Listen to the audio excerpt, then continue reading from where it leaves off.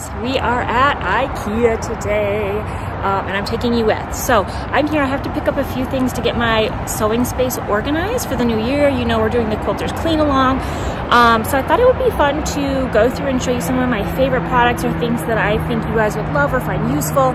Um, so let's go.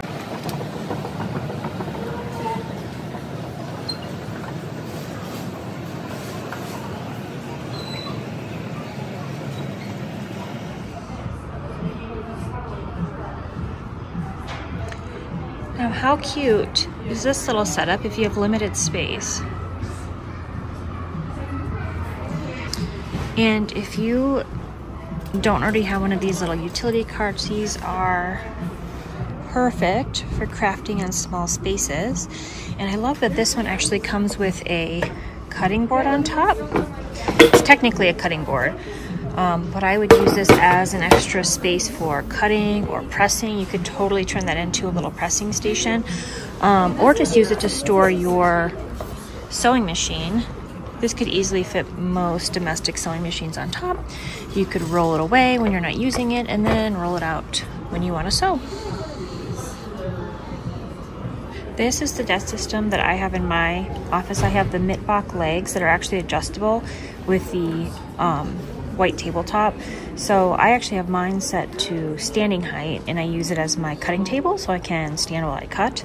Um, this one right here is obviously set lower so you can sit at it. So I really love the extra storage that it has underneath and I love that it's adjustable. So I'm in the kitchen section right now of the IKEA Marketplace and if you have not checked out this place, this is definitely a gold mine when it comes to sorting and organization. Even though they are designed for kitchen use, um, a lot of this stuff would make great use in a sewing room.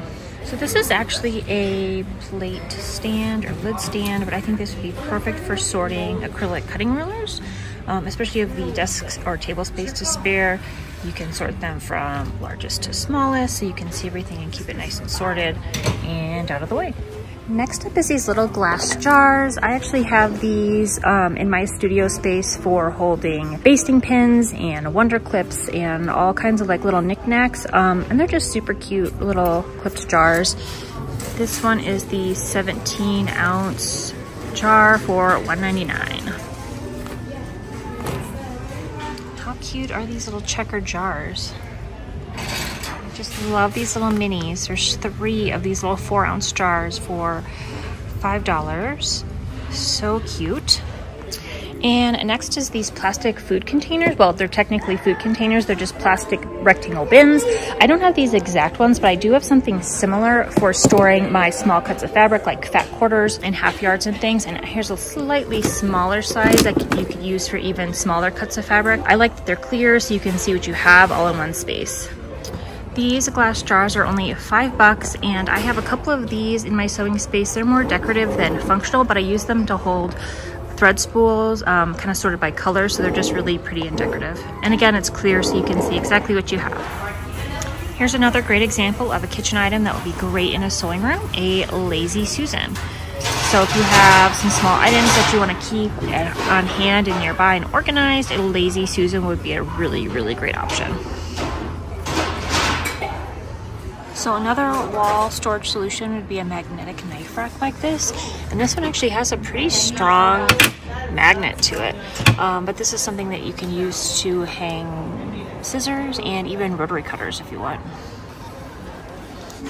The bathroom section is another just gold mine when it comes to storage and organization. I love this little glass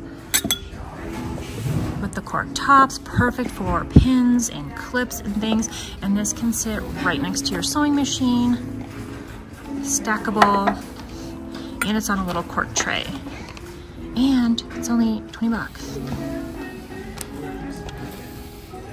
Here is another bathroom item. I think this would make such a great little sewing box. It's actually layered and has dividers on the inside, so it would be great for sorting small notions, um, and sewing supplies.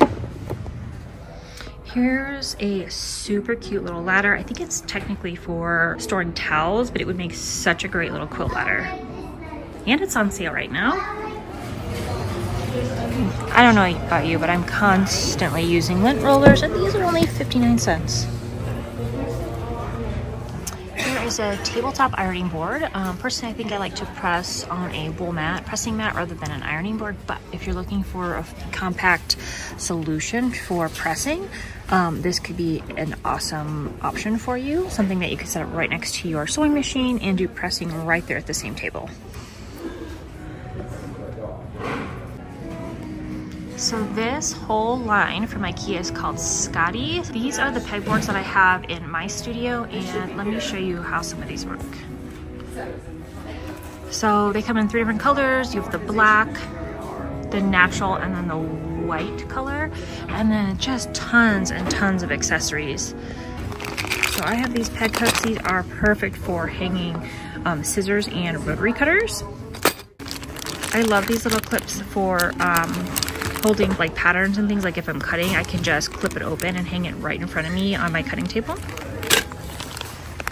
Here's another one. This one is basically um, just a little hole for scissors. Would be a perfect one for this. Now this is technically a magazine holder, um, but I have this up on my pegboard for holding my cutting rulers lots of these little drawers for holding pins and thimbles and little things of thread, bobbins, things like that. Um, these are so perfect. So they slide out these little drawers so then you can take them out and take them to your workstation or your sewing machine or whatever. I also have lots of these little cups for just holding markers and pencils. So really fun and easy way to store and display your quilts is just a really large oversized basket. I love this one because it's really large um, and has this really big open weave on it, which is great for showing off your quilts. So this one's a little bit more of a boho style, but if you like something a little bit more rustic or country looking, they have this one. Also really big, nice oversized, and a nice open weave on it. We're in the home organization section and they have a lot of different tablet holders. I really like this one. It has an adjustable base to it, um, as well as a hook on the back for holding um, headphones and things. But if you are someone that likes to work exclusively with digital PDF quilt patterns and like to have a tablet nearby, this would be a great solution, something that you could prop up right next to your cutting table uh, or next to your sewing machine while you're piecing and cutting. Um, so yeah, really nice option. And again, only $13.99.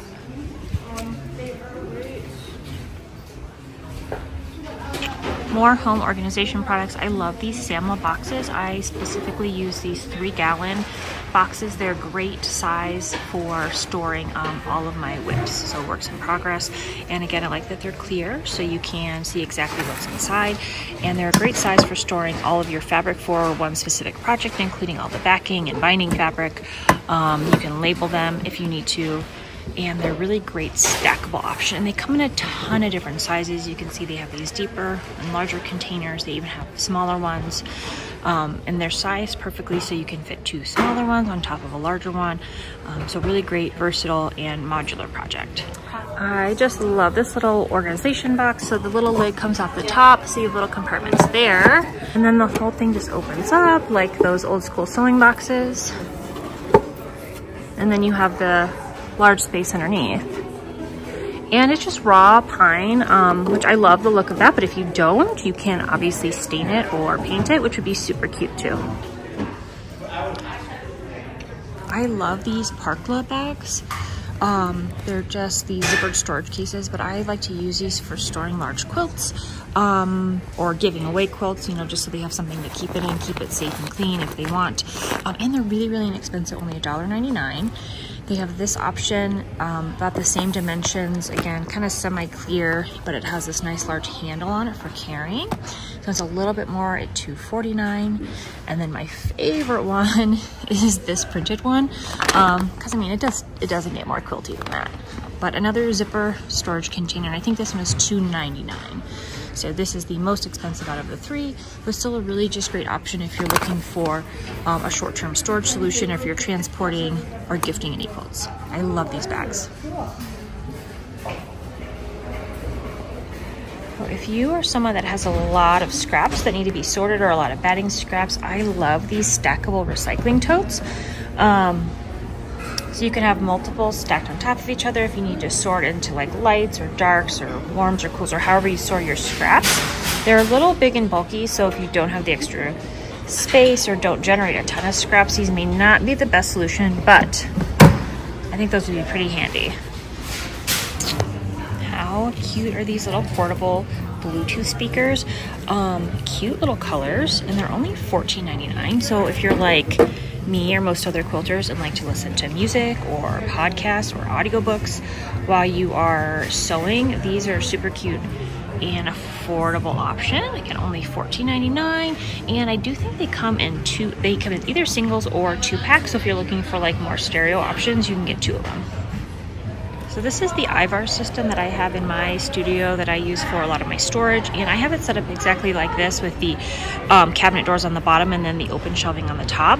Or you can reverse it like this if you want. It's a really versatile um, and modular system. So I knew that if I ever had a bigger space or needed more storage, I could add on to it. The other cool thing is if you are someone that has a lot of fabric bolts, the depth on this is perfect for um, storing fabric bolts. So you can you know, eliminate these middle shelves and just store or, you know, line up your fabric bolts on this for really great storage option for um, if you have a lot of yardage. Is it even a shopping trip to Ikea if you're not picking up meatballs?